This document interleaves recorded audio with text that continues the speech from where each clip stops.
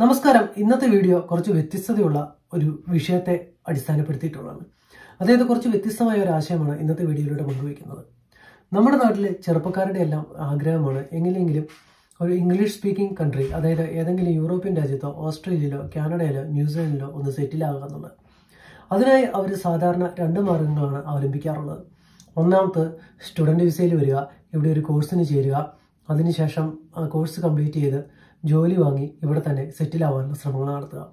അതല്ല എങ്കിൽ work visa എടുത്തു വരിക. അതിനുശേഷം ഇവിടെ ഏതെങ്കിലും കമ്പനിയിൽ ജോലി ചെയ്ത് കുറേയേറെ കാലം ഇവിടെ താമസിച്ച് അതിനുശേഷം ഇവിടെ റെസിഡൻഷ്യൽ ഷിപ്പിന് അപേക്ഷിച്ച് അത് നേടിയെടുക്കുക. ഇങ്ങനെ രണ്ട് മാർഗങ്ങളാണ് സാധാരണയായി നമ്മുടെ നാട്ടിലെ ചെറുപ്പക്കാർ ചെയ്തു വരുന്നത്.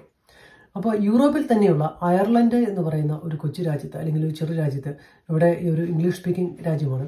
ഈ രാജ്യത്ത് എങ്ങനെ എത്തിവരാം എങ്ങനെ എത്തിപ്പെടാം എങ്ങനെ എത്തിപ്പെടാം എന്നുള്ളതിന് ധാരാളം മാർഗങ്ങളുണ്ട്. ഞാൻ പറഞ്ഞു വരുന്ന ആ കാര്യമില്ല. സ്റ്റുഡന്റ് വിസ എടുത്ത് ഇവിടെ വരികയാണെങ്കിൽ ഏതെല്ലാം കോഴ്സുകൾ പഠിക്കണം ഏത് യൂണിവേഴ്സിറ്റിയിൽ ചേരണം ഈ കോഴ്സുകൾക്ക് എത്ര ഫീസ് ചിലവാകും ഈ കോഴ്സുകൾക്ക് ജോലി സാധ്യതയുണ്ടോ ജോലി കിട്ടിയാൽ തന്നെ എത്ര രൂപ സാലറി കിട്ടും. അപ്പം ഇങ്ങനെയുള്ള കാര്യങ്ങളെക്കുറിച്ചാണ് ഇന്നത്തെ വീഡിയോ. അപ്പോൾ ജേക്കബ് ജോർജിൻസിന്റെ പുതിയ വീഡിയോയിലേക്ക് എല്ലാവർക്കും സ്വാഗതം. ഓക്കെ അപ്പോൾ നമുക്ക് വീഡിയോയിലേക്ക് പോകാം. വടക്കു പടിഞ്ഞാറൻ യൂറോപ്പിൽ നോർത്ത് അറ്റ്ലാന്റിക് ഓഷ്യനിലാണ് അയർലൻഡ് സ്ഥിതി ചെയ്യുന്നത്. ബ്രിട്ടീഷ് ഐസിൽസിൽ തൻ ഐസിൽസിൽ രണ്ടാമത്തതും അതുപോലെ തന്നെ യൂറോപ്പിലെ മൂന്നാമത്തതും ലോകത്തിലെ പന്ത്രണ്ടാമത്തതും പന്ത്രണ്ടാമത്തതുമായ ഏറ്റവും വലിയ ദ്വീപാണ് അയർലൻഡ്. അയർലൻഡ് രണ്ട് ഈ ദ്വീപിന് ദ്വീപിൽ രണ്ട് രാജ്യങ്ങളാണുള്ളത്. ഒന്ന് നോർത്തേൺ അയർലൻഡും ഒന്ന് റിപ്പബ്ലിക് ഓഫ് അയർലൻഡും. നോർത്തേൺ അയർലൻഡ് ഇപ്പോഴും യുണൈറ്റഡ് കിങ്ഡത്തിന്റെ ഭാഗമാണ്. പക്ഷേ റിപ്പബ്ലിക് ഓഫ് അയർലൻഡ് യുണൈറ്റഡ് കിങ്ഡത്തിന്റെ ഭാഗമല്ല ഇതൊരു ഭാഗമല്ല. ഇതൊരു സ്വതന്ത്ര രാജ്യമാണ്. ഇവർ യൂറോപ്യൻ യൂണിയനിൽ ഇവർക്ക് മെമ്പർഷിപ്പുമുണ്ട് ഈ രാജ്യത്തെ പ്രധാന ഭാഷകൾ എന്ന് പറയുന്നത് ഇംഗ്ലീഷും അതുപോലെ തന്നെ ഐറിഷുമാണ്. മറ്റ് യൂറോപ്യൻ രാജ്യങ്ങളെ പോലെ തന്നെ അയർലൻഡ് അയർലൻഡ് ഒരു തണുപ്പ് രാജ്യമാണ്. ഒരു വർഷം ഏകദേശം രണ്ടായിരം മണിക്കൂറിൽ താഴെ മാത്രമാണ് സൺഷൈൻ ഈ രാജ്യത്ത് ലഭിക്കുകയുള്ളൂ. അതായത് ബാക്കിയുള്ള ദിവസങ്ങൾ അതായത് ഒരു വർഷം ഭൂരിഭാഗം സമയവും ഈ രാജ്യത്ത് ഒന്നിലെ തണുപ്പായിരിക്കും അല്ലെങ്കിൽ ചെറിയ ചാറ്റൽ മഴയായിരിക്കും അല്ലെങ്കിൽ മേഘാവൃതമായ കാലാവസ്ഥയായിരിക്കും. നമ്മൾ സാധാരണ നമ്മുടെ നാട്ടിൽ നമുക്ക് ലഭ്യമാവുന്ന രീതിയിലുള്ള ഒരു ഔട്ട്ഡോർ ലൈഫൊന്നും ഈ രാജ്യത്ത് നമുക്ക് ലഭിക്കില്ല. കാരണം ഇവിടെ ഭൂരിഭാഗവും തണുപ്പായിരിക്കും മഞ്ഞായിരിക്കും മഴയായിരിക്കും. നമുക്ക് ജാക്കറ്റ് ഇടാതെയും കോട്ട് ഇടാതെയും ഒന്നും നമുക്ക് പുറത്തു പോകാനോ ലൈഫ് ഔട്ട്ഡോർ ലൈഫ് എൻജോയ് ചെയ്യാനോ സാധിക്കില്ല. എന്നിരുന്നാലും മികച്ച ജീവിത നിലവാരവും അതുപോലെ തന്നെ മികച്ച സോഷ്യൽ വെൽഫെയർ സ്കീമുകളുടെ ലഭ്യതയും ഈ രാജ്യത്തെ ആകർഷകമാക്കുന്നു. അതുപോലെ തന്നെ ഇവിടെയുള്ള ജോലി സാധ്യതകളും ഉയർന്ന ശമ്പളവും അതായത് ആ ശമ്പളം കൊണ്ട് തന്നെ നമുക്ക് മര്യാദയ്ക്ക് നോക്കിയാൽ ജീവിക്കാൻ പറ്റുന്ന ഒരു സാഹചര്യവുമെല്ലാം ഈ രാജ്യത്തുണ്ട്. അതാണ് മറ്റു രാജ്യങ്ങളെ അല്ലെങ്കിൽ ഇന്ത്യ പോലുള്ള രാജ്യങ്ങളിൽ നിന്നുള്ള ചെറുപ്പക്കാരെ ഈ രാജ്യത്തേക്ക് ആകർഷിക്കുന്നത്. ഒരു കാര്യം കൂടി പറയട്ടെ. ഇവിടുത്തെ കറൻസി യൂറോയാണ് ഇനി നമുക്ക് നമുക്ക് നമ്മുടെ വീഡിയോയിലേക്ക് വരാം. നമ്മുടെ ടോപ്പിക്കിലേക്ക് വരാം. What is the eligibility criteria to study in Ireland നമ്മുടെ ആദ്യത്തെ ചോദ്യം അതാണ്. അതായത് അയർലൻഡിൽ പഠിക്കാൻ വേണ്ട അടിസ്ഥാന വിദ്യാഭ്യാസ യോഗ്യത എന്താണ്? പ്ലസ് ടുവിന് അറുപത് ശതമാനം മാർക്ക് ഉണ്ടായെങ്കിലും ഉണ്ടായെങ്കിൽ നിങ്ങൾ പതിനെട്ട് വയസ്സ് തികഞ്ഞ ഒരാളാണ് എങ്കിൽ നിങ്ങൾക്ക് ഇവിടെയുള്ള ഡിഗ്രി കോഴ്സുകൾക്ക് ചേരാം. ഇനി അതല്ല നിങ്ങളുടെ മാർക്ക് അമ്പത് ശതമാനമാണ് എങ്കിൽ നിങ്ങൾക്ക് ഏതെങ്കിലും ഫൗണ്ടേഷൻ കോഴ്സോ അല്ലെങ്കിൽ ഡിപ്ലോമ കോഴ്സോ അയർലൻഡിൽ ചെയ്യാം. ഇനി അടുത്തതായി എന്തെല്ലാം ഡോക്യുമെന്റ്സ് ആണ് നമ്മൾ ഇതിനു വേണ്ടി പ്രൊഡ്യൂസ് ചെയ്യേണ്ടത്? ഒന്നാമത്തെ ഡോക്യുമെന്റ് എന്ന് പറയുന്നത് നമ്മുടെ പത്തിലെയും പ്ലസ് ടുവിലെയും അക്കാഡമിക് സർട്ടിഫിക്കറ്റ് അതായത് നമ്മുടെ പത്തിലെയും പ്ലസ് ടുവിലെയും അക്കാഡമിക് ട്രാൻസ്ക്രിപ്റ്റ് അല്ലെങ്കിൽ മാർക്ക് ലിസ്റ്റ് അതാണ് ഒന്നാമത്തെ ഡോക്യുമെന്റ് രണ്ടാമത്തെ ഡോക്യുമെന്റ് എന്ന് പറയുന്നത് നമ്മുടെ ഐ എൽ സ്കോർ അക്കാഡമിക് ഐ എൽസിന്റെ സ്കോർ ദെൻ മൂന്നാമത്തെ ഡോക്യുമെന്റ് എന്ന് പറയുന്നത് നമുക്ക് എന്തെങ്കിലും വർക്ക് എക്സ്പീരിയൻസ് ഉണ്ടെങ്കിൽ അതിന്റെ ലെറ്റേഴ്സ് ഓഫ് റെക്കമെൻഡേഷൻ ദെൻ നാലാമത്തെ ഡോക്യുമെന്റ് എന്ന് പറയുന്നത് statement of purpose. Then last one നമ്മുടെ അക്കാഡമിക് റിസ്യൂം അതായത് വളരെ മനോഹരമായി നമ്മുടെ എല്ലാ കാര്യങ്ങളും മാർക്കും ഡീറ്റെയിൽസും എല്ലാം കൃത്യമായിട്ട് എഴുതിയിട്ടുള്ള ഒരു അക്കാഡമിക് റിസ്യൂം അപ്പം ഇത്രയും ഡോക്യുമെന്റ്സ് ആണ് നമുക്ക് ഇവിടെ പഠിക്കുവാനായിട്ട് ആവശ്യമുള്ളത്. പ്രധാനമായും അഞ്ച് കരിയർ ഓപ്പർച്യൂണിറ്റീസ് അല്ലെങ്കിൽ കോഴ്സസ് ആണ് ഞാനിവിടെ പരിചയപ്പെടുത്താൻ പോകുന്നത്. അത് ഈ അഞ്ച് കോഴ്സസുമാണ് അയർലൻഡിൽ ഇപ്പോൾ ഏറ്റവും ഡിമാൻഡുള്ള അഞ്ച് കോഴ്സസ് എന്ന് പറയുന്നത്. അത് ഏതൊക്കെയാണെന്ന് നോക്കാം.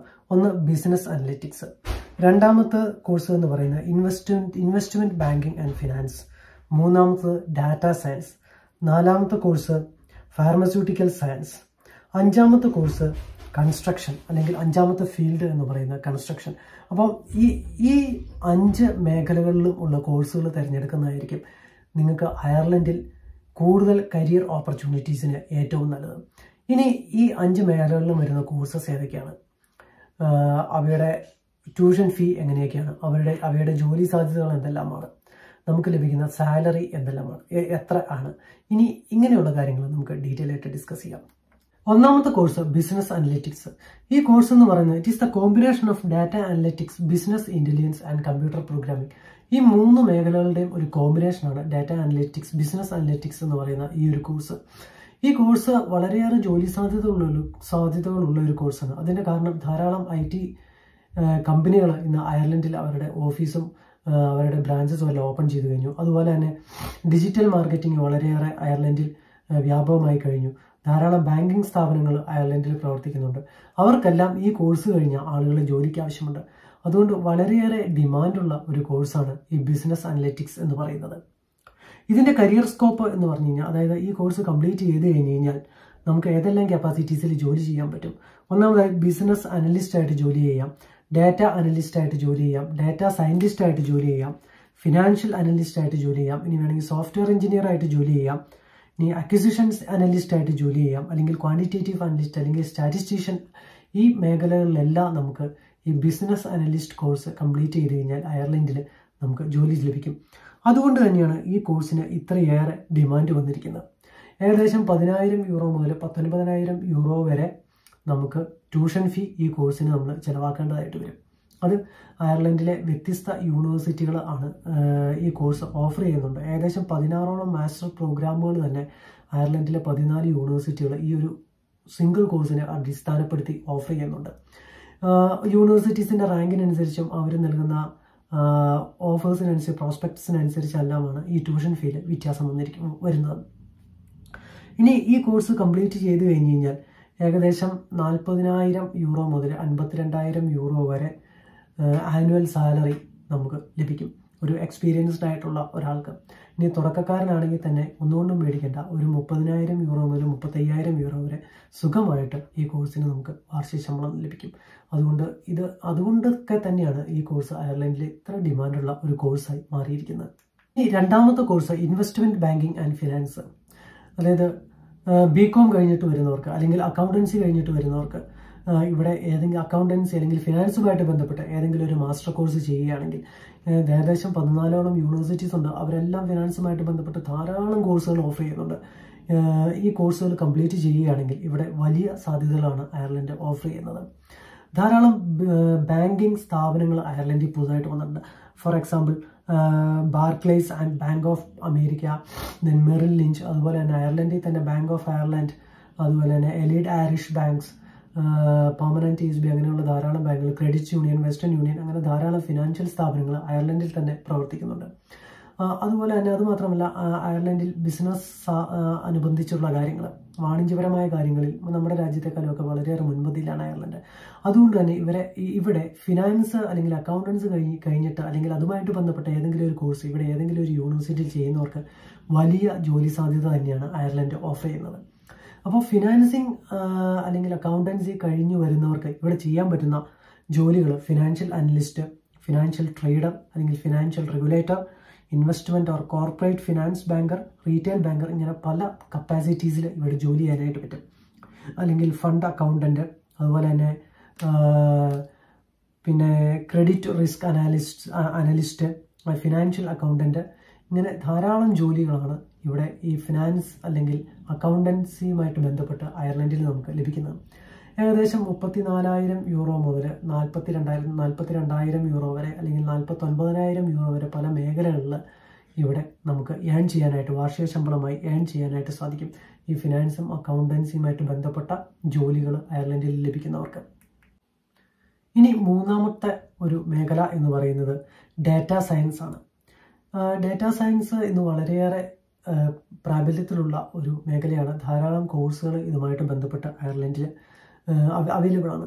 ധാരാളം ഐ ടി കമ്പനീസ് അയർലൻഡിൽ വന്നിട്ടുണ്ട്. ധാരാളം മൾട്ടിനാഷണൽ കമ്പനീസ് അയർലൻഡിൽ വരുന്നു വന്നുകൊണ്ടിരിക്കുന്നു ഇനിയും വരാൻ പോകുന്നു. അതുകൊണ്ട് തന്നെ അവരുടെ എല്ലാം ഡാറ്റ സ്റ്റോർ ചെയ്യുക എന്ന് പറയുന്നത് വളരെ വളരെ വലിയ ഒരു വെല്ലുവിളിയാണ്.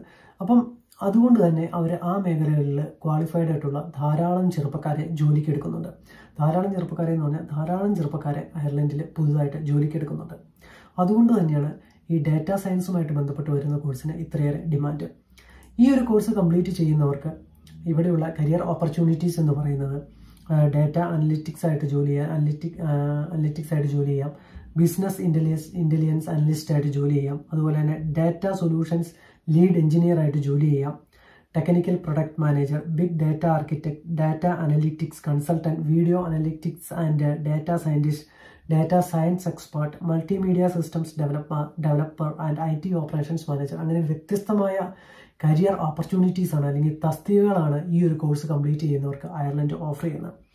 സാലറി എന്ന് പറയുന്നത് ഏകദേശം ഒരു മുപ്പത്തി ആറായിരം യൂറോ അല്ലെങ്കിൽ നാൽപ്പതിനായിരം യൂറോ വാർഷിക ശമ്പളം ലഭിക്കത്തക്ക രീതിയിലാണ് അതിന്റെ ഒരു സാലറി സ്കെയിൽ അതുകൊണ്ട് തന്നെ ഡാറ്റാ സയൻസ് കംപ്ലീറ്റ് ചെയ്യുന്ന അല്ലെങ്കിൽ ഡാറ്റാ സയൻസുമായിട്ട് ബന്ധപ്പെട്ട കോഴ്സുകൾ കംപ്ലീറ്റ് ചെയ്യുന്നവർക്കും വളരെ വലിയ ഒരു കരിയർ ഓപ്പർച്യൂണിറ്റിയാണ് അയർലൻഡിൽ ഇന്ന് നിലവിലുള്ളത്. ഈ അടുത്ത മേഖല എന്ന് പറയുന്നത് ഫാർമസ്യൂട്ടിക്കൽ സയൻസ് ആണ്.